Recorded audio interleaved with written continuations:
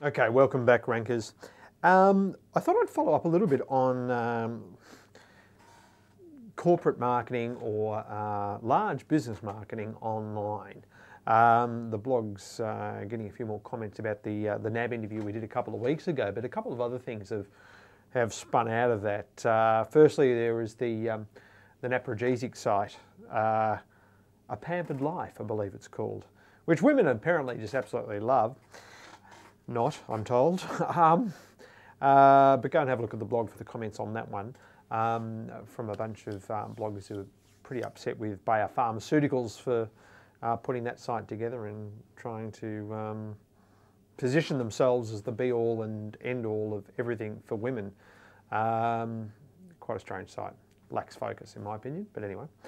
Um, but the thing is about what most large businesses don't get about search marketing is that they're used to, I guess, the interruptive form of, of advertising. Uh, you know, old media, where we're you know reading a newspaper and the ads interrupt what we're reading. We're reading a magazine, the ads interrupt what we're reading. Watching television, ads interrupt it. Listening to the radio, ads interrupt it. Driving to work, my drive is interrupted by billboards. So that is the uh, the mentality of the uh, the old media advertising industry. It's it's about um, ambushing you and trying to convince you to um, buy a product or service or you know get you to enjoy their, their brand.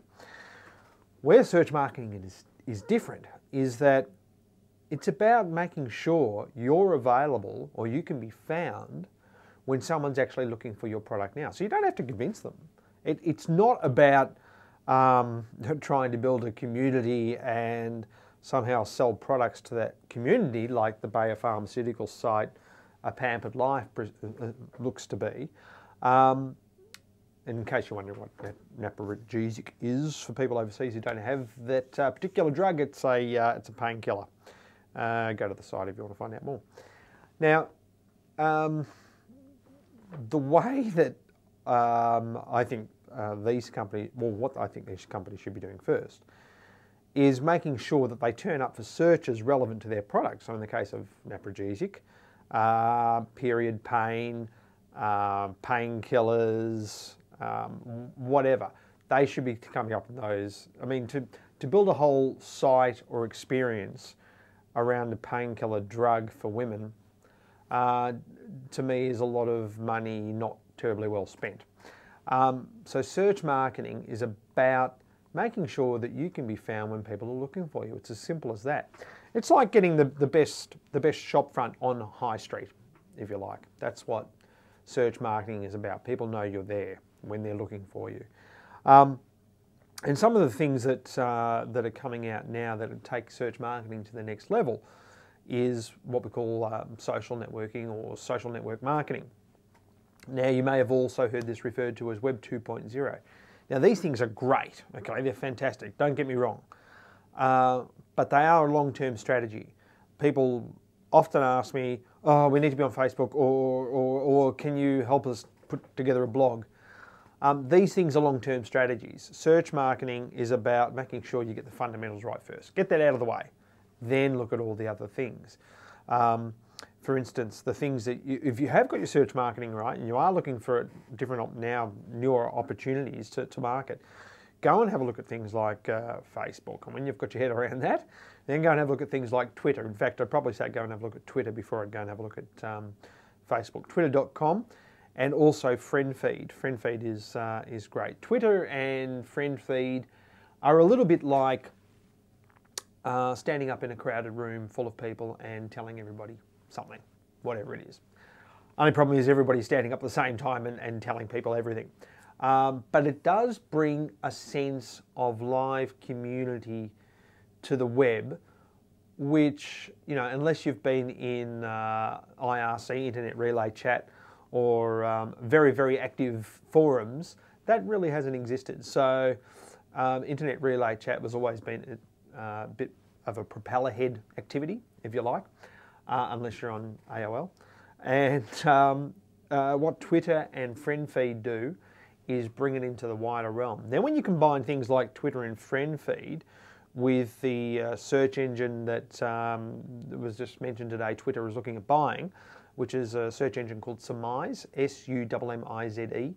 Uh, this is a search engine that purely searches Twitter. Uh, talking about niche, right?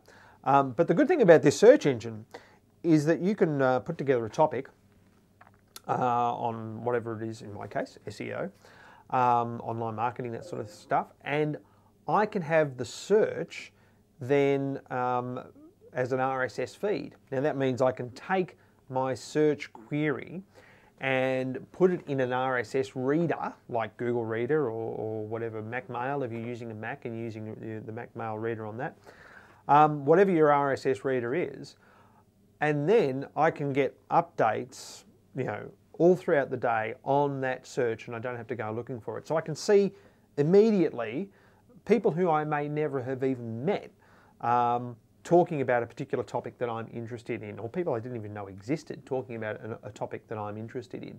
And to get that feed and get those alerts on a regular basis is just fantastic for me anyway. And if you're, if you're interested in any particular topic, hobby, whatever it is, this is a great way to find other people uh, that are interested in the same things and may have something to, to, to teach you.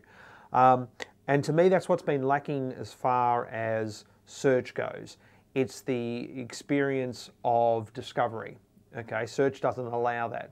Search is, is usually pretty much I'm looking for this thing now, and that's what I'm that's what I need to know.